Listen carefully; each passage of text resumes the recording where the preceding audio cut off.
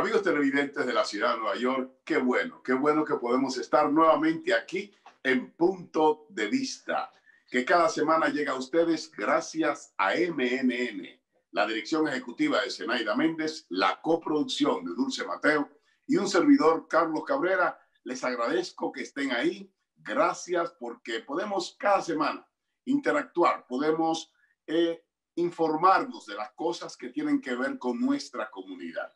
Qué bueno, qué bueno que podemos usar esta plataforma que nos ofrece MNN para con respeto expresarnos libremente y intercambiar nuestros puntos de vista. Como siempre, recordarle a ustedes que estamos por todas las compañías de cables aquí en la ciudad de Nueva York. En Manhattan, Spectrum Canal 34, Verizon Files Canal 33, RCN Canal 82. Al mismo tiempo, simultáneamente estamos en el Bronx a través de BronxNet TV, el canal de acceso público del condado del Bronx, por los canales Optimum 69 y Verizon Files 35. Los domingos igualmente estamos en el aire, pero por diferentes canales. Los domingos a las 8 de la mañana en Manhattan, Spectrum Canal 67, Verizon 5 Canal 36 y RCN Canal 85. En el Internet, fácil. Va a mnn.org y hace clic en el canal 1 los jueves a las 8 de la noche y en el canal 4 los domingos a las 8 de la mañana y puede vernos desde cualquier parte del mundo en esas dos horarios. Como siempre, MNN está ofreciendo eh, aprendizaje en línea eh, que tiene diferentes tópicos. Sin embargo, en esta semana estamos hablando a ustedes de, de unas, unas clases muy importantes que son, que tienen que ver con concursos de medios profesionales. Y esos son introducción a la edición con DaVinci Results. El otro es producción de estudios y el siguiente, introducción eh, a la edición de videos con Adobe Premiere. Así que vamos a tomar ventaja de esto. Podemos hacerlo desde, desde el el, el, confort de nuestros hogares de manera remoto con MNN. Ahí está la comunicación. Llegue, contáctese con MNN para ser parte de estas clases que nos ayudan a todos a ser profesionales de los medios audiovisuales. Vamos a hablar ahora y, y vamos a darle la bienvenida a nuestra eh, invitada de hoy, que es eh, eh, la directora ejecutiva nuestra de Punto de Vista, Zenaida Méndez, con la cual eh, vamos a estar conversando durante todo el programa de lo que está hablando la gente. Vamos a hablar de, de elecciones, vamos a hablar de, vamos a recordarle a ustedes que este es el mes, el mes de concientización de la lucha contra el cáncer de mama. Así te ve que vine hoy con una, una corbata rosada en apoyo y eh, en soporte de que todos nos informemos acerca de todo esto. Bienvenida, Senaya Méndez, a tu casa. Qué bueno tenerte contigo. Muchas gracias. Encantada de estar contigo aquí, acompañándote en una semana muy importante para todos los Estados Unidos y el mundo entero. Y creo que, como, como decía, muy importante recordarnos que el cáncer de mama le da tanto a las mujeres como a los hombres. Entonces hay que, hay que hacer mucha prevención, hay que hacerse su mamografía, hay que estar pendiente. Eh, miren, la comunidad latino, eh, latinoamericana, desafortunadamente, las mujeres cuando llegan al hospital con cáncer de mama tienen el cáncer de tamaño de una toronja casi porque estamos cuidando a los niños, cuidando a los abuelos, a los padres, y nos vamos dejando nosotras para último. es importantísimo ir al médico anualmente a hacerse su chequeo. Yo creo que definitivamente es una, eh, es un, es bueno, ¿verdad? El 19 de octubre es el Día Mundial, el Día Mundial de la lucha contra el cáncer de mama y octubre es mes también, el mes completo. Octubre es el mes de la lucha contra y concientización, porque tal como decía Senaya, ¿verdad? No solamente afecta a las mujeres, no solamente afecta a los mayores. Le digo que sufrimos muchísimo en nuestra familia cuando uno de mis sobrinos, mm. eh, hace como un par de años, le dio cáncer de mama y tuvo que someterse a quimioterapia y a un tratamiento que lo tenía bien debilitado y cosas. Y muy joven, un muchacho muy joven, sin embargo, le dio cáncer de mama. Así que vamos a estar preocupados, vamos a tocarnos y saber cuando algo no anda normal ni correcto en nuestro cuerpo, vamos a, llamar la atención, porque a veces con, cuando las cosas se, se hacen con tiempo, tienen cura. Y qué bueno, bueno que pueden hacer esta campaña para concientizar a la gente, porque muchos, hemos perdido mucha gente, amigos, familiares, eh, por estas cosas. Y estar pendiente porque muchas de nuestro vecindario van en un hospital ambulante donde la mujer y el hombre pueden entrar y se le hace la mamografía. Y nosotros, recuerdo que hace unos años hicimos una campaña que era solamente 5 dólares que se cobraba de donación pero ahora el Departamento de Salud es totalmente gratis. Sí, sí, definitivamente. Eh, así que, señores, vamos a estar alerta, vamos a informarnos, vamos a, a estar con conciencia acerca de esto me llamó la atención la semana pasada que mi hija me llama y me dice, porque yo estoy preocupada y yo quiero decir al doctor que me haga, quiero que tú me digas el historial de tu abuela, de tu mamá. Y yo, qué bueno, qué bueno que tú también, jovencita, te estás preocupando. es muy importante, muy importante. Sí. se pueden evitar muchas cosas cuando tú sabes el historial eh, médico de tu familia. Sí, sí. Sí, definitivamente. Así, señores, vamos a estar alerta a todo esto. Otro tema, Zenaida, eh, del cual vamos a estar hablando es las elecciones. Cada día nos estamos acercando más y más y más al día 3 de noviembre, cuando van a ser el día oficial de las elecciones. Sin embargo, ya muchísimos estados están, la gente está, millones de personas ya han votado. Yo inclusive ya voté. Exactamente, sí. Muy importante. Más de 20, 20 millones de personas ya han votado en las elecciones tempranas. Es sumamente importante. Aquí en Nueva York empezamos a votar temprano el 24 de octubre, este sábado. Estamos, señores, a 12 días de las elecciones oficiales. Yo pienso votar en persona y votar temprano. Eh, eso es lo que voy a hacer. Lo hice para las primarias y ahora lo voy a hacer otra vez. Y hay que estar bien pendiente porque todo el mundo recibió un sobre a dónde van a votar temprano, es diferente a dónde van a ir a votar, a donde usualmente van a votar para las elecciones. Entonces vean ese sobre donde le indica a dónde usted va a votar. Por ejemplo, si usted vive en el Alto Manhattan, la mayoría de las personas van a votar en el Armory, que está en la 161 con Fort Washington. Tal vez no todo el mundo, pero la mayoría. Por ejemplo, yo vivo aquí en el área de Hell's Kitchen. Nosotros vamos a votar en el lobby del Madison Square Garden, porque es de las 100 hasta la, hasta la 23, una área muy grande. Entonces, eh, por eso también el Armory, que es bastante grande. En el Bronx, lo mismo, creo que eh, el Almery de, de, allá se está usando. Eh, eh, lugares grandes para votar temprano, que es del 24 de octubre al 1 de noviembre. Entonces, el día, el día 2, usted descansa. y si no votó, el día 3, martes, va y vota. ¿Tú me entiendes? Pero creo, mira, estas son las elecciones más importante de una generación, para que lo sepamos. Aquí nunca se habían visto las cosas que se han visto en los últimos tres años. Nunca se habían visto dos eh, candidatos eh, tirarse como se han tirado.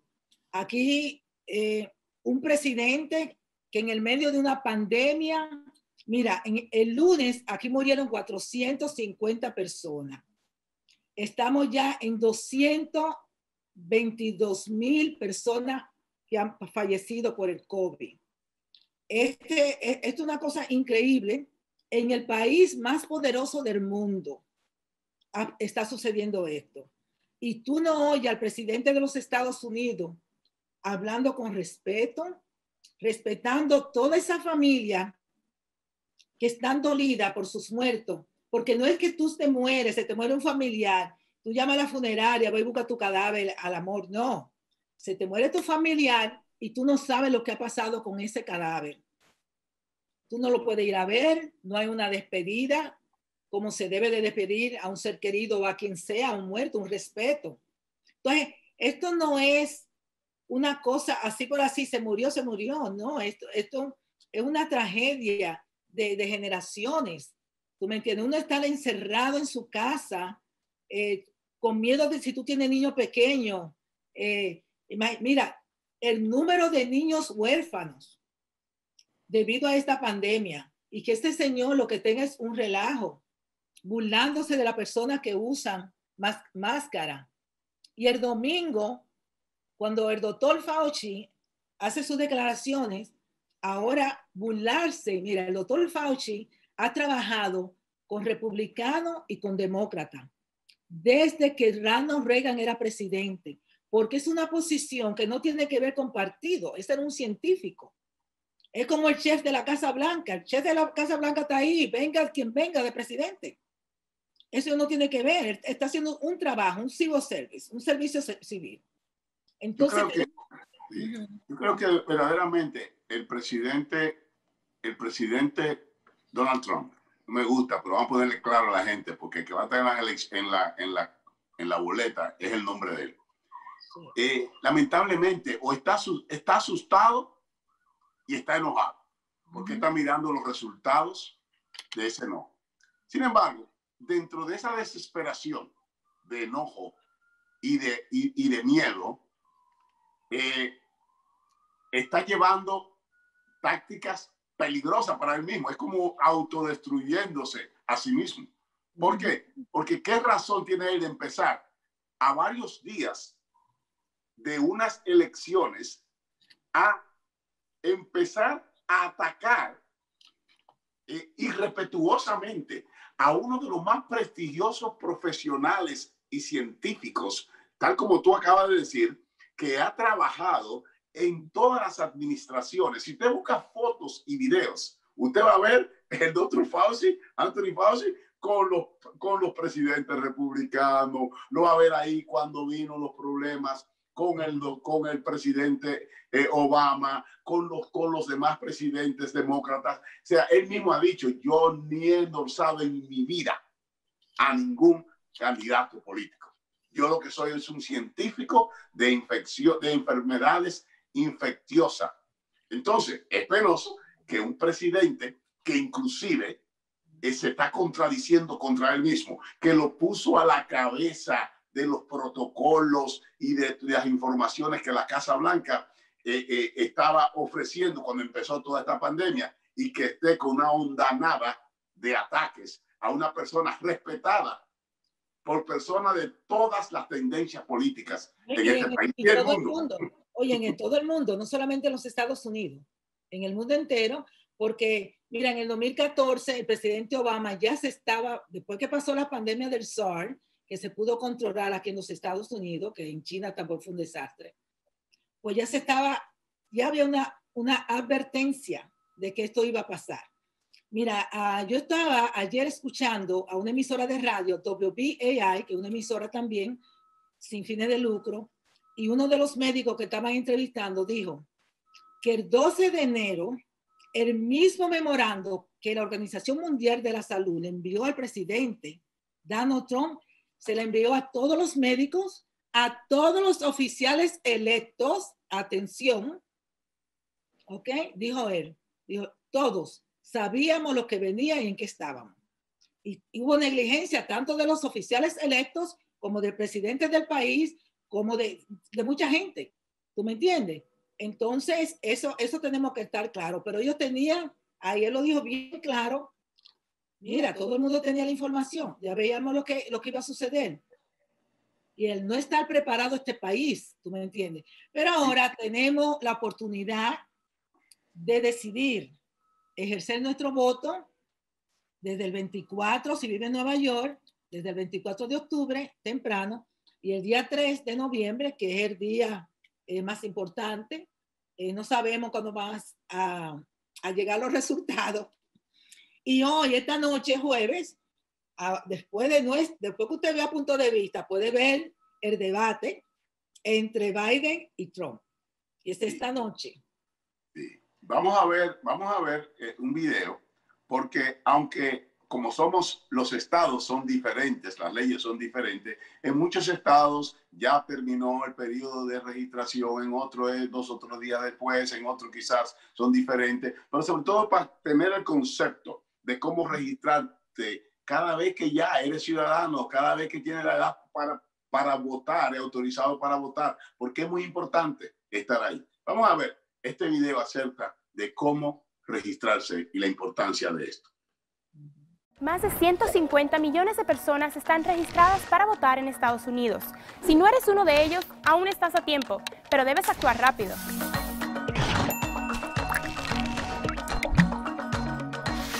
Lo primero es lo primero. ¿Calificas?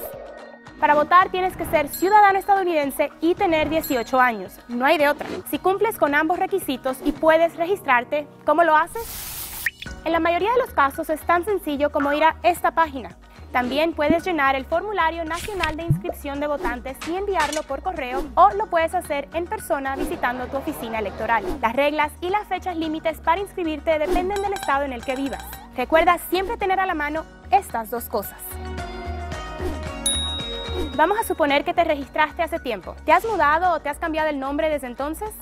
Ahí tocaría actualizar tu información online, por correo postal o en persona. Pero, ¿qué pasa si eres ciudadano y no vives aquí? No te preocupes, igual puedes participar solicitando una boleta de voto ausente. Solo tienes que regresar a esta página, llenar este formulario y listo.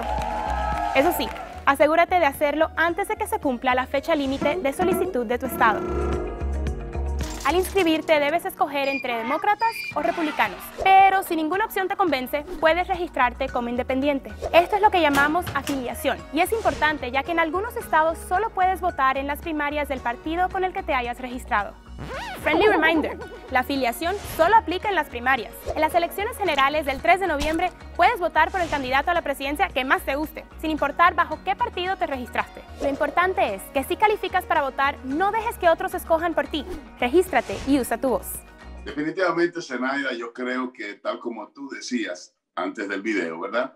Eh, ya está el proceso de votar. Ya hablamos ya de la parte de votar temprano y hemos visto cómo inclusive muchísimos estados, estados que yo estoy sorprendido, porque yo digo, y, y no sé, quizás la gente ve a, Texas y a, a, Georgia, que ha sido eh, eh, favorable a los republicanos, por el hecho de la gente que yo estoy votando, viendo votando, yo creo que va a haber sorpresas, sorpresas eh, muy contundentes en estas elecciones. Sí, porque acuérdate, además del presidente de los Estados Unidos, está votando por los senadores.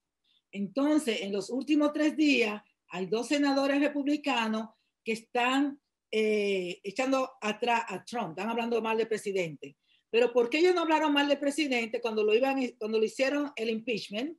¿Por qué no hablaron mal del presidente cuando estaba ofendiendo a todo el mundo? Entonces ahora que tienen un, una, tienen un demócrata que lo está haciéndole eh, eh, desafío. Entonces ahora, y además han, han, visto que este señor, después que di que le dio el COVID, que tú me perdonas, eh, Carlos, pero yo no creo que él le dio el COVID. Así que... Yo no dudo que sea una estrategia, una estrategia. Yo no lo dudo. Porque dice es ¿verdad? En boca del mentiroso, hasta lo cierto se hace dudoso. Así que se ha hecho es, hay canales que lo están le van contando las mentiras y son miles y miles y no millones de mentiras que nos tiene acostumbrado en estos tres años y pico. Mira, y es como yo le decía ayer a una amiga, esto no tiene que ver que eres republicano. Yo tengo amistades buenísimas republicanas que bebemos, bailamos, hacemos de todo juntos, porque son personas razonables. Pero lo de este señor ya se pasa, porque es que, mira, no es, él, él ni siquiera está dentro de las normas del partido, él es él. Es él. Entonces, Yo creo que lo importante ahora es votar y vamos a hablar también eh, eh, de cómo votar por correo. Déjame decirte algo, yo ya voté. Esto no está vacío, mira, yo voté y fue tan fácil, tan fácil. Nada más me dice ahí, mira, eh, esas, esas bolitas oval, la llena, la llené con mi, con, mi, con mi lapicero, la entré en otro sobre y en ese sobre tiene como un affidavit diciendo, este soy yo, usted lo firma, lo, lo entré en este sobre y luego en el sobre de correo que va dentro.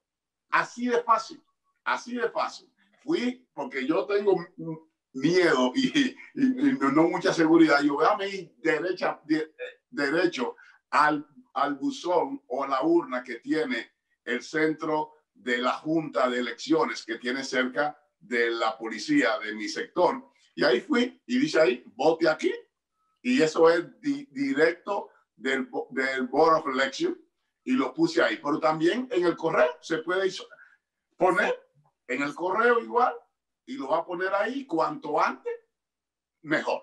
Vamos a ver, porque esto es muy importante. Ya hablamos de votar temprano.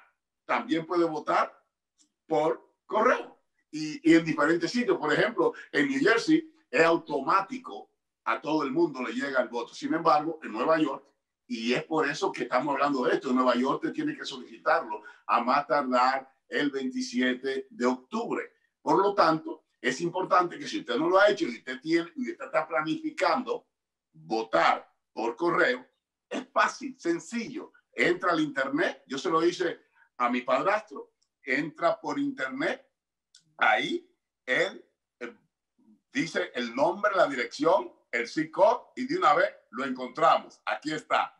Dice, yo no soy un robot, pam, pam, pam, y el día ya cuanto antes le va a llegar su, su, su voto a su casa.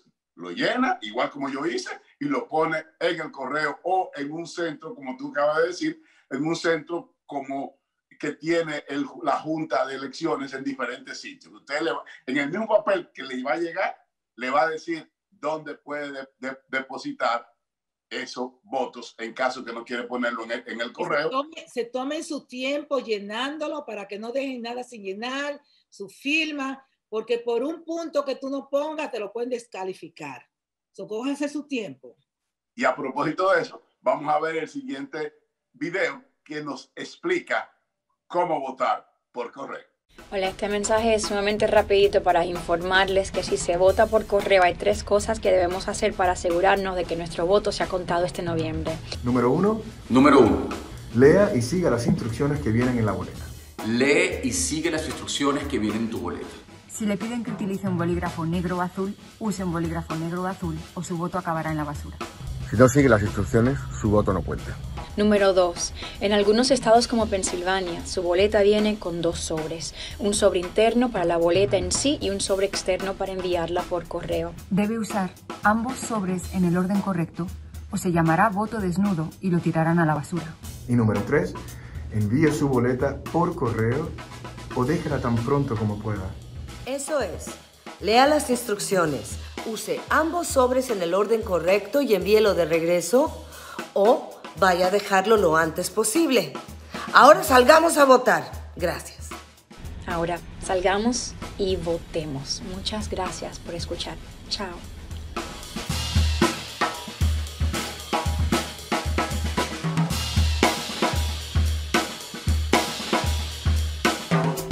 Amigos, definitivamente, Senaya Méndez, eh, es muy importante, bastante eh, informativo ese, ese video para que no comamos, no cometamos errores al votar. Acuérdense, tal como decía Zenaya, que es una experta en asuntos electorales.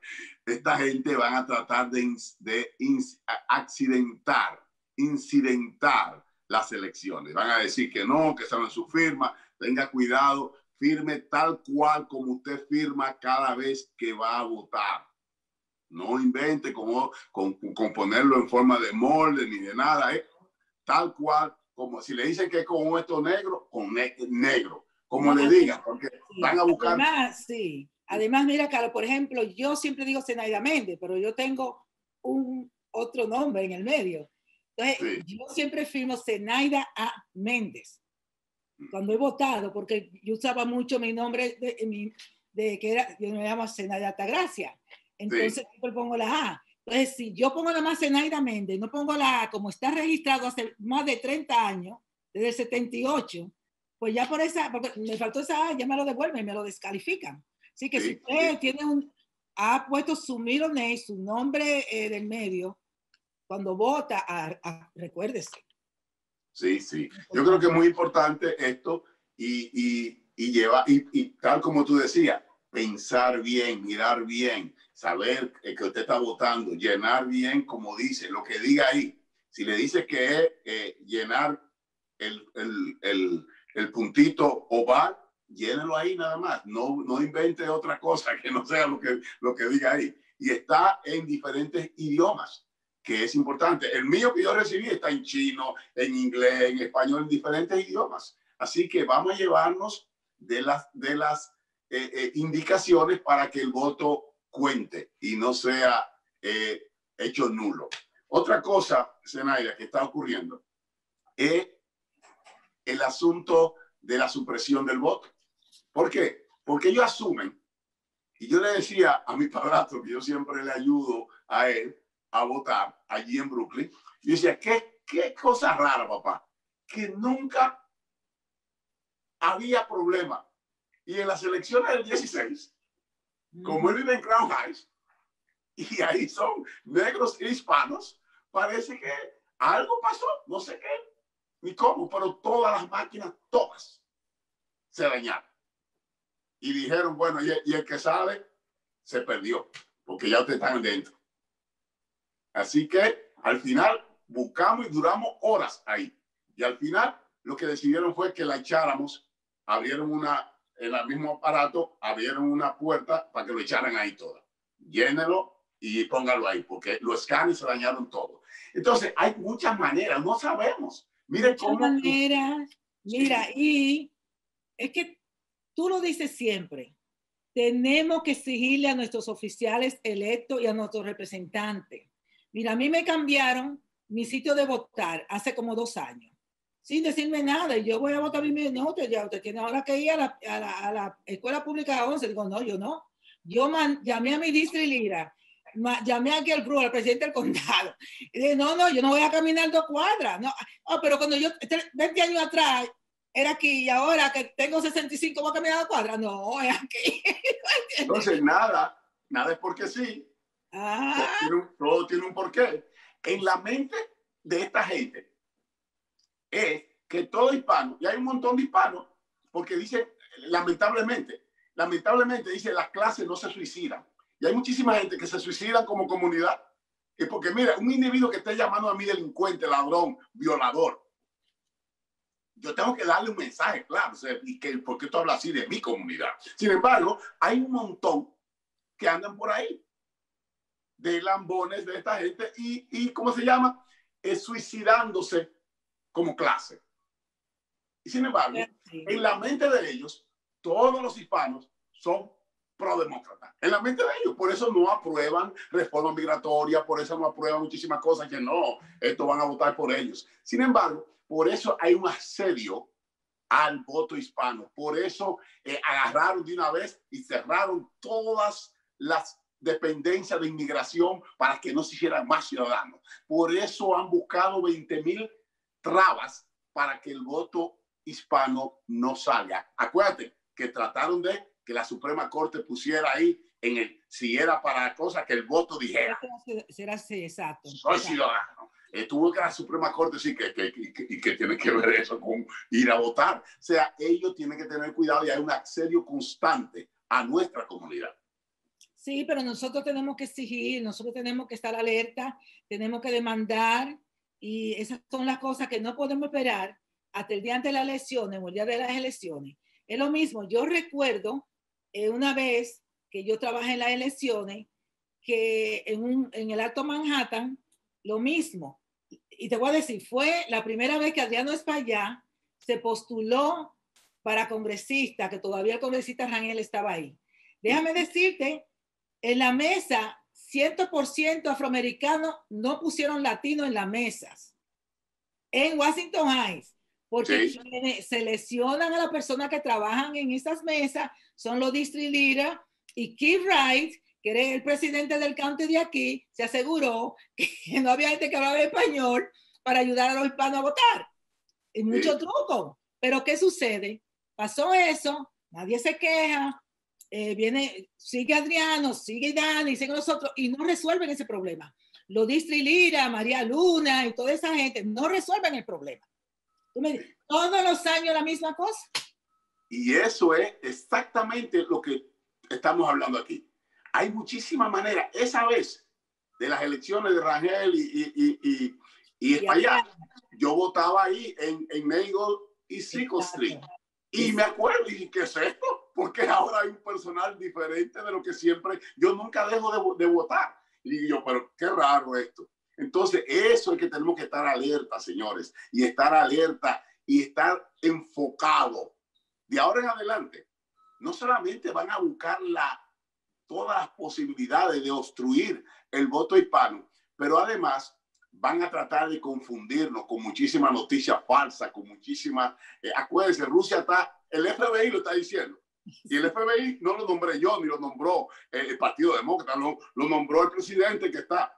Y el presidente y el jefe del FBI está diciendo, lo estamos constantemente descubriendo que Rusia está interviniendo nuevamente en asuntos. Han, han tenido que cerrar muchísimas páginas de Facebook y de Twitter, que son ellos mismos y con la misma mala costumbre que hicieron. Sin embargo, siguen tal cual y por eso es que tenemos que votar para hacer respetar nuestra sociedad, nuestro país, porque mire cómo es, ellos tienen controles de todo, Claro. saben todo, sin embargo, como le beneficia, lo apoyan. Se vamos a tener mucho cuidado porque este voto, este voto contra nuestra comunidad, esta manera de suprimir y de, y, y de eh, eh, a ponerle traba a, nuestro, a nuestros votantes latinos, eh, eh, está ahí. Hay una campaña para eso. Vamos a ver, vamos a ver el siguiente video y luego continuamos hablando de elecciones 2020.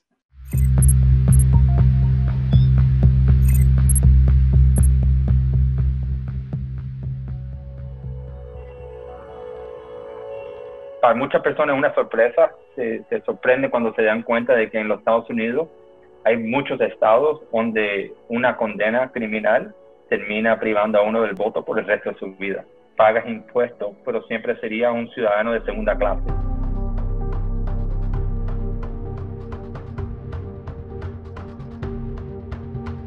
Como salí um, a los 28 años, yo no había votado en mi vida porque entré a los 16. Yo perdí el derecho al voto antes de ni tener el derecho al voto. Solo la mitad de los hispanos en Estados Unidos son ciudadanos con derecho a votar. Por eso luchan constantemente contra iniciativas que pretenden excluirlos.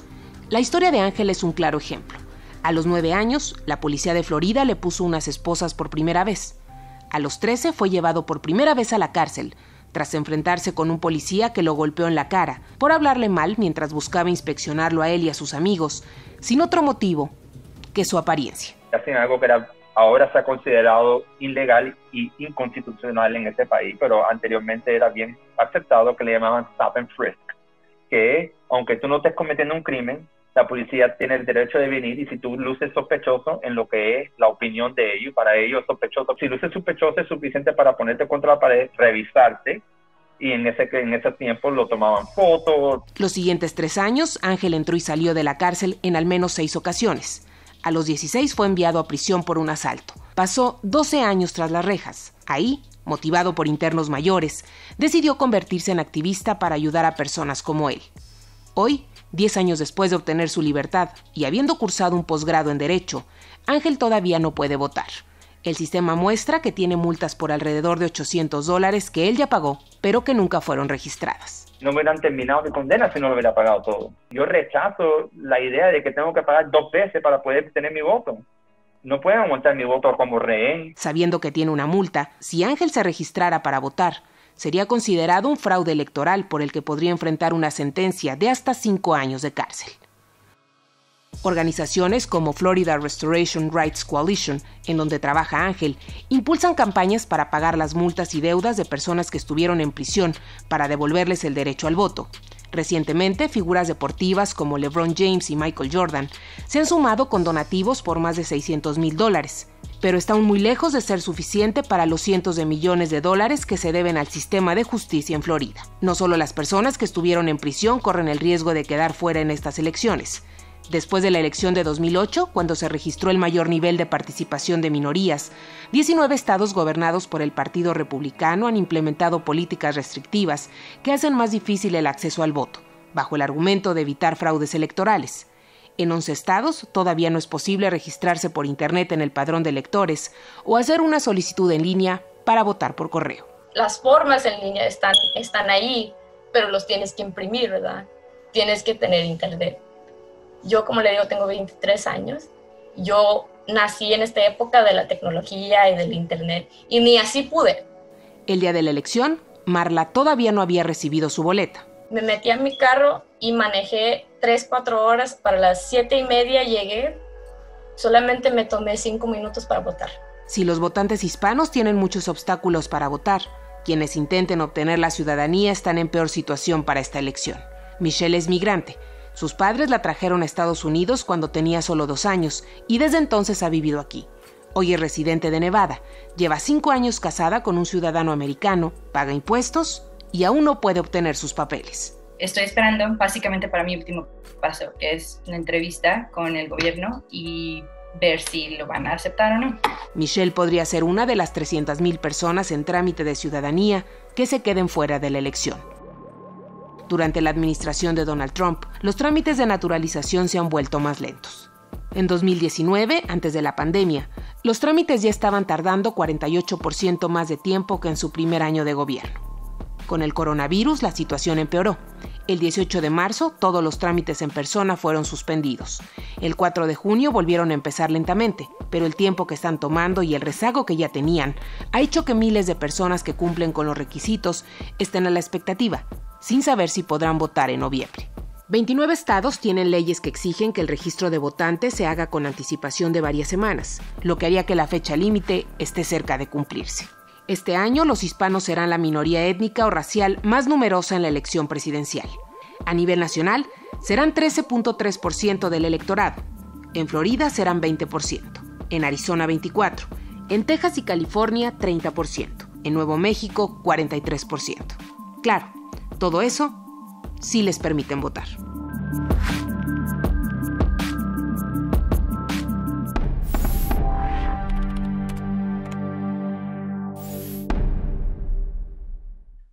Definitivamente, Zenaida, yo creo que tenemos que estar alerta, tenemos que eh, defender nuestro derecho a votar, como todo el mundo.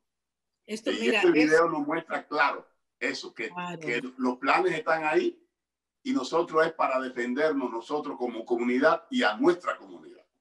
Mira, tú sabes que la Florida es uno de los estados de pelea grande por los votos. Son seis estados, eh, Arizona, Pensilvania, Wisconsin, North Carolina, Florida y Michigan. Esos son los estados contundentes donde se están peleando por los electorales, ¿verdad? Los votos electorales del colegio.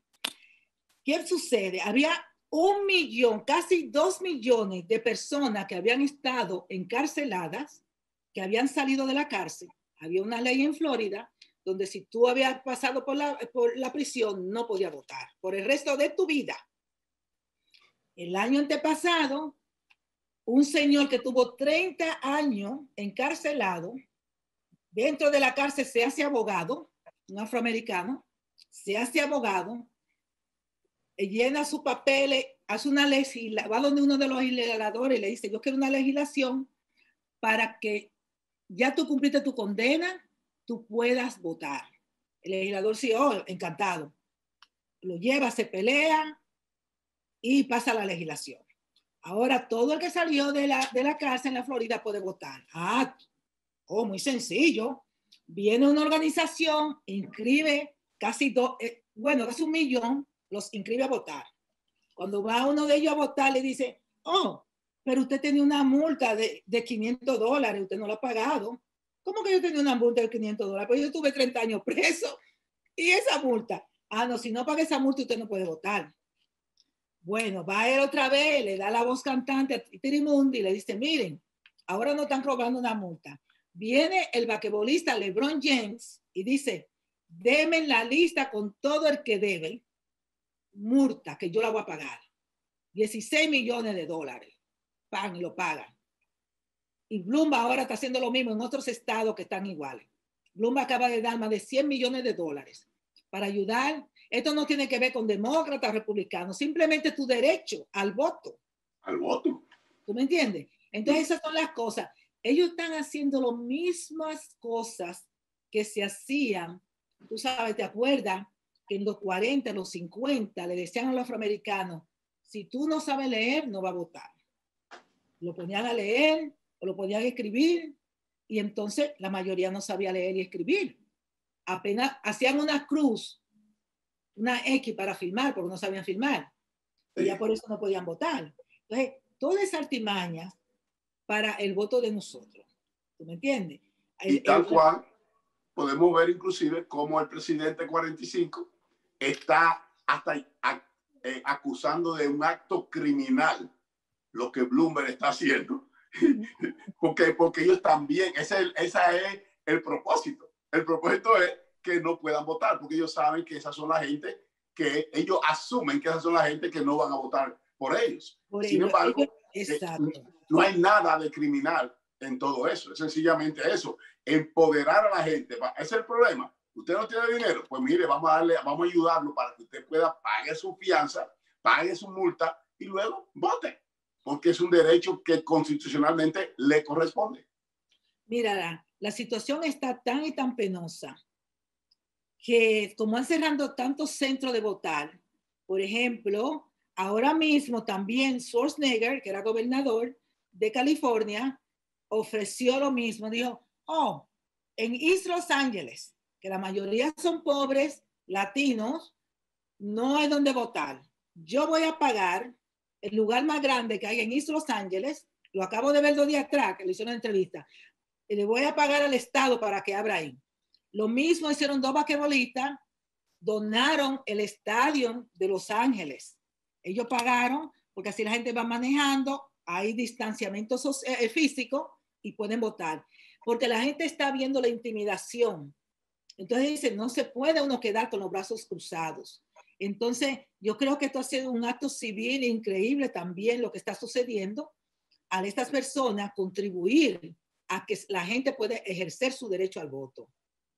Y tal como tú dices, ¿verdad? Un acto civil y un acto de entre todos concientizarnos, enfocarnos para por lo menos traer la civilidad de nuevo a este país.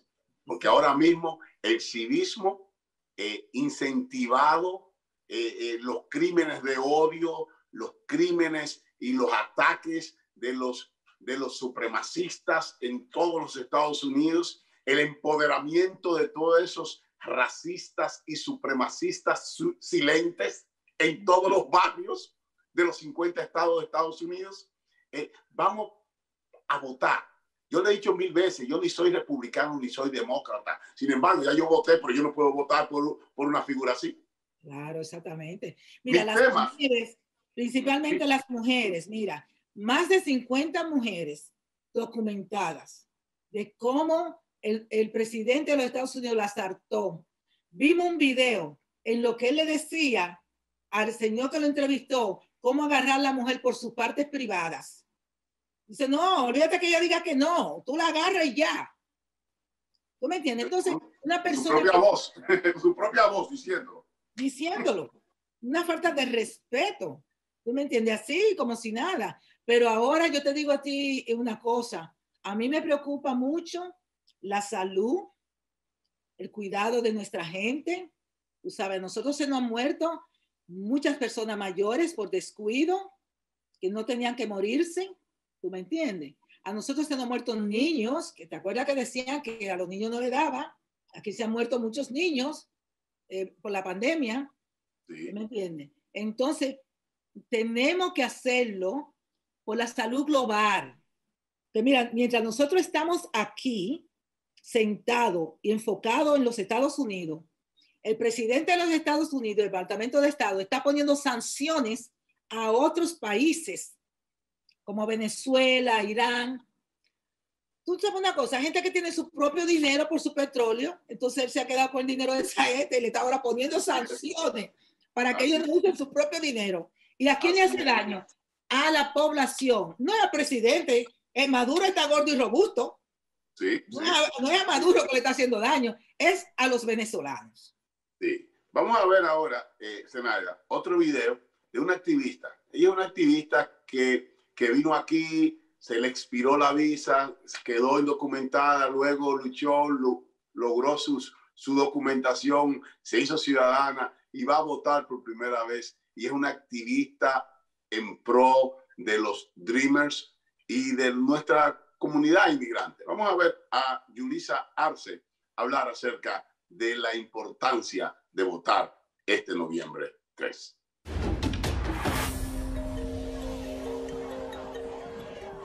Hi, I'm Jaleesa Arce. I'm a Mexican immigrant. Su espíritu no conoce límites y llegó a ocupar altos puestos ejecutivos en compañías importantes de Wall Street como Merrill Lynch y Goldman Sachs. Latinos Es autora y activista, pero Julissa Arce también fue indocumentada y su lucha siempre ha sido para que los inmigrantes tengan un lugar y una voz en este país. La visa que yo usé para entrar a los Estados Unidos se expiró y entonces yo me hice una de las 11 millones, millones de personas que están indocumentadas en este país.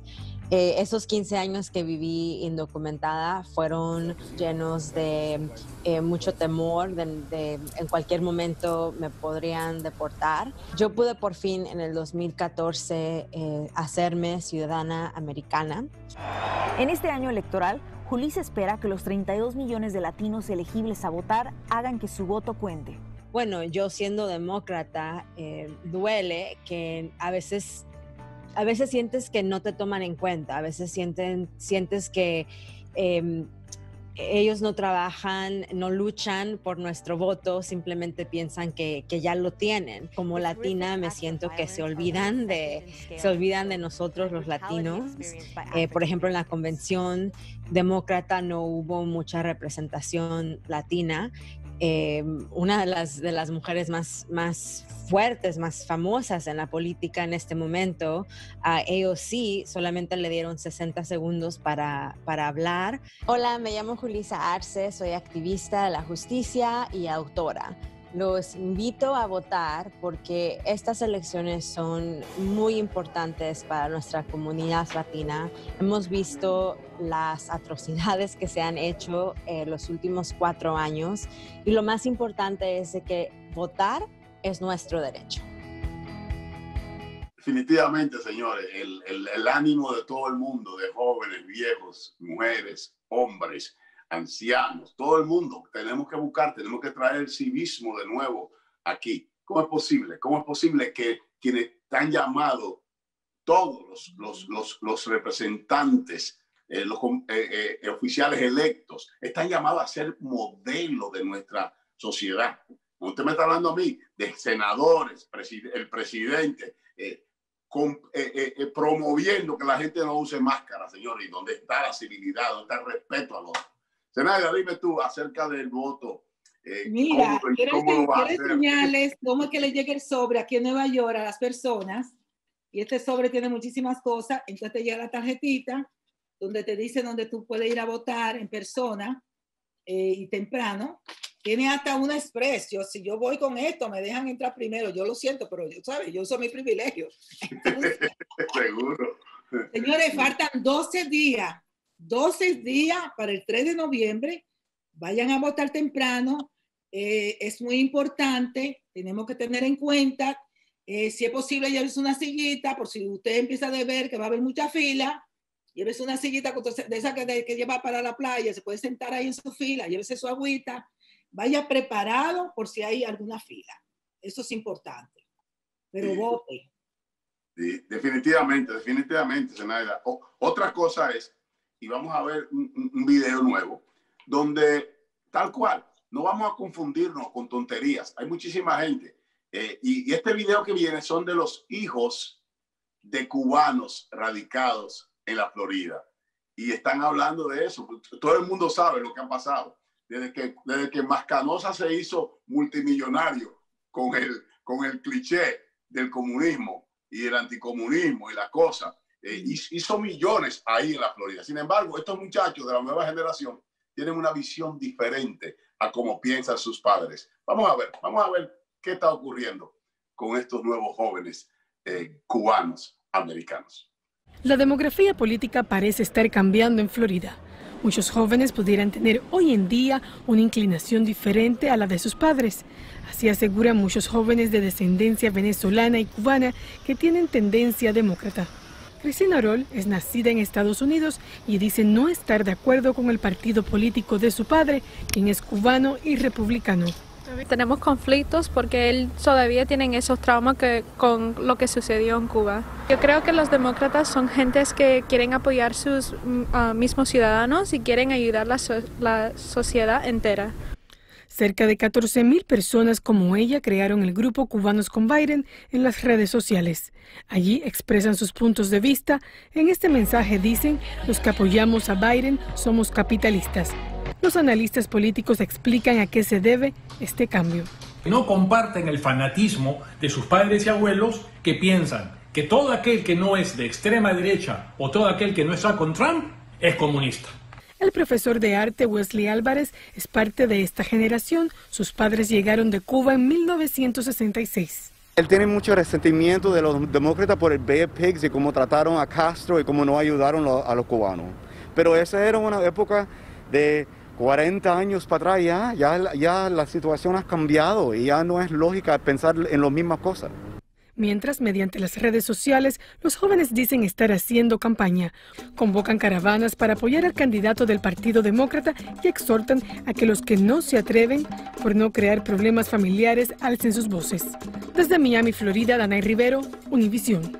Definitivamente, señores, es una responsabilidad de todo ir a votar y votar consciente. Verdaderamente, vote porque dé su gana, pero vote. Eh, pero sobre todo consciente de qué candidato representa sus valores, sus los temas de su comunidad, de su ciudad, del país. ¿Qué presidente representa eh, ser el primer magistrado de la, de, la, de la nación, respetando la posición que ostenta? Así que se tienen que recordar que este es el país más poderoso del mundo, jamás va a llegar a ser socialista. Y además, eh, vimos como esos jóvenes han hecho un análisis, han analizado por su misma cuenta la situación. No estamos en 1959, estamos en el 2020. Sí, y definitivamente que eso, es más, es un insulto, es un insulto a la inteligencia. Yo, yo por eso te digo, este presidente se está autodestruyendo y creo que la, e, el egocentrismo de él, la megalomanía que él sufre, es tan tal que parece que dice, no solamente me voy a ir yo, sino me voy a llevar un montón de senadores y congresistas republicanos, porque está afectando las campañas de muchísimos de ellos, porque un presidente que sea candidato y esté atacando a varios días de las elecciones a una de las personas más respetadas en el mundo, el doctor Fauci, un presidente que aunque le dio el COVID, eh, sí, sí, sí, le dio el COVID, pero que en los actos de él ya decenas de personas cercanas a él se han enfermado. Bueno, los, empleados, los empleados, los empleados y como decía alguien ayer, Nada más sabemos de lo que estaban ahí, pero los cocineros, los jardineros, todas esas personas que trabajan en la Casa Blanca, no se ha dicho cuántos de ellos han, sido afectados por el COVID.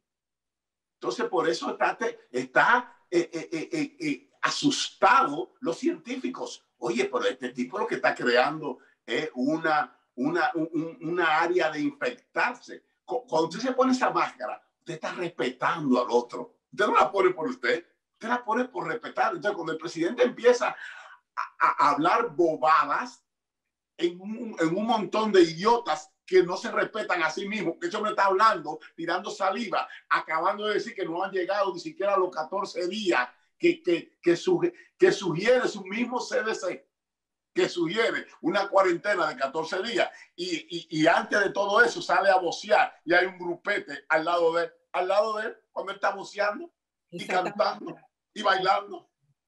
¿Tú te imaginas? Entonces... y eh, tuvimos, tuvimos ex gobernador Christie que estaba allí con él, tuvo de emergencia, tuvo una semana interna también. Y él sí pidió excusa y dijo, no debí de estar ahí sin tener el tapaboca, cometí un error. Él mismo lo dijo. Sí, entonces eso es lo que incentiva, incentiva el irrespeto. Mira, la, la Universidad de Mostradam, Mostradam, sí, los estudiantes estaban molestos porque dice, ah, pero ustedes nos demandan a nosotros y nos disciplinan si no andamos con máscara. Y mira cómo tú estabas con el presidente en el Rose Garden, sin máscara y hablando con todo el mundo. Y se enfermó. Así y se enfermó ahí, en el acto de la candidata a la, a la Suprema Corte. Senaya, hale el llamado a la gente. Porque hay que votar. Sí, bueno, hay que votar. Recuerden que desde este sábado 24 empezamos a votar en Nueva York temprano y el día 3 es el día oficial, pero ya tenemos una semana y yo le voy a decir otra cosa.